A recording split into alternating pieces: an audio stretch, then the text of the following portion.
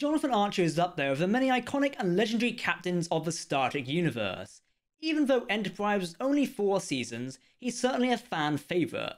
But with the ever-evolving universe of Star Trek right now, perhaps there is room for him to return. Let's explore how that might work and how it might actually be happening sooner than you think. The final frontier begins in this hall. Let's explore it together.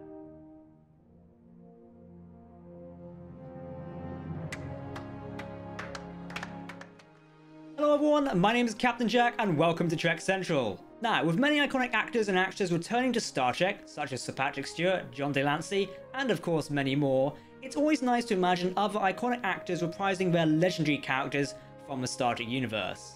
Thinking about it, is there really room for Scott Bakula to return as Jonathan Archer in Star Trek right now? Before we jump into the video, if you want to keep up to date on all the latest Star Trek news, lore, and more, then make sure to hit that subscribe button to never miss a video from a team here at Trek Central. You can also follow us on social media for daily updates on the Star Trek universe. Okay, let's go. Very recently, it was announced that Scott Bakula's long-running series, NCIS New Orleans, will be coming to a finish later this year on May 23, 2021. This of course now leaves plenty of room for Bakula to don the Enterprise uniform once again, if he wanted to of course. There is no denying that Enterprise's final episode was not the best episode for the fans, and also the cast. Rumour has it that Scott Bakula was very, very upset at the ending of Enterprise and how it closed out the story of not only Archer, but the likes of Commander Charles Trip Tucker as well.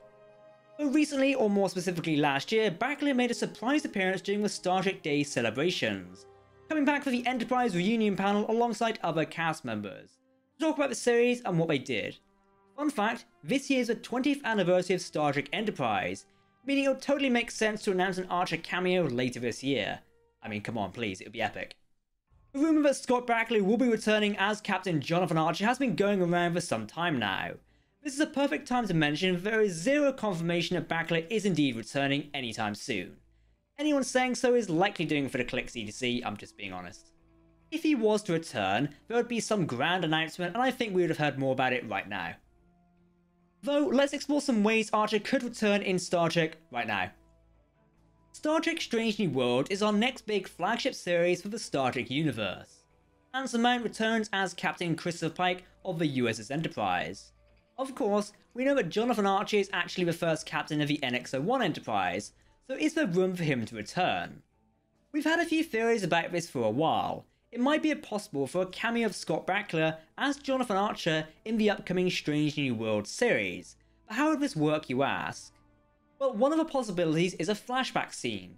It's already theorized a Strange New World will see flashbacks of Captain Pike's life. How would that connect with Jonathan Archer? Well, for a moment, it wouldn't, but another central character of the show might.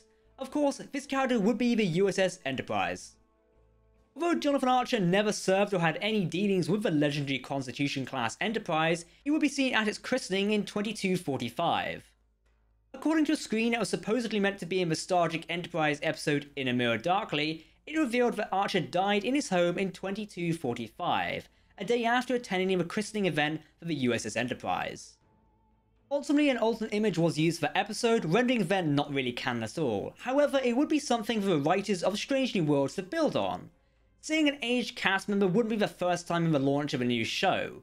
The late DeForest Kelley was seen in the opening to Star Trek The Next Generation after all. Archer could appear in a flashback scene for the launch of the USS Enterprise, alongside Pike himself, but also Captain Robert April, the first captain of the Enterprise, and also someone we've not spent a massive amount of time with at all. It's one of these scenes that could work really well, but we'll have to see how it plays out. Another theory would be that Archer could turn up in a new series altogether. For a while now, there has been a Star Trek series rumoured to be about the Starfleet Academy, essentially a series focused on the new and fresh cadets of Starfleet, before they go out to be ambitious Starfleet officers or redshirts who get killed on the first mission. While I doubt we'd see Archer anywhere near an academy anytime soon, he could be a recurring character depending on the setting and time frame of the series. In canon and extended canon, Jonathan Archer would go on to serve as the Federation president for some time, as well as the Starfleet Chief of Staff after Admiral Gardner stepped down. If a series about the Starfleet Academy was to go ahead and set sometime before the original series, but after Star Trek Enterprise, we could see Archer make a recurring role as a Starfleet Chief of Staff, or even a Federation President. A lot of these theories do depend on whether Scott Bakula does want to return to the Star Trek universe. Originally, given the ending of Enterprise, it did not seem he was that keen for it at all, but lately, with his appearance during Star Trek Day last year, the time might be different now, and we could see Archer back sometime soon. Of course, Viacom CBS's long-standing flagship series, Star Trek Discovery, is now in the brand new 32nd century, exploring the new version of Starfleet and the Federation. Now, in the New Frontier, there have been other mentions of time travel, but also the Temporal Cold War, an event Jonathan Archer was somewhat involved with. Whether Discovery will touch on the Temporal Cold War again is unknown right now, though I would like them to.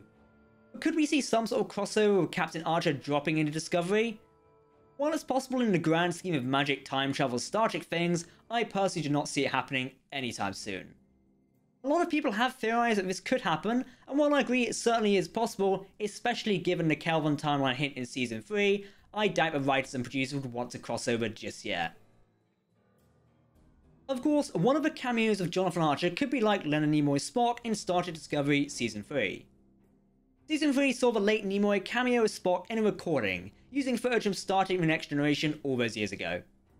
Something like this could be used for any of the current airing series. Perhaps Federation President Archer giving a speech about why everyone should come together in the name of Starfleet and the Federation. That would go down really well in the new Discovery setting, I think. I'm just saying, if Archer does return to the Star Trek universe, he better be bringing Porthos with him. Would you be excited to see Jonathan Archer back in the Star Trek universe once again? Let us know down below in the comment section as per usual.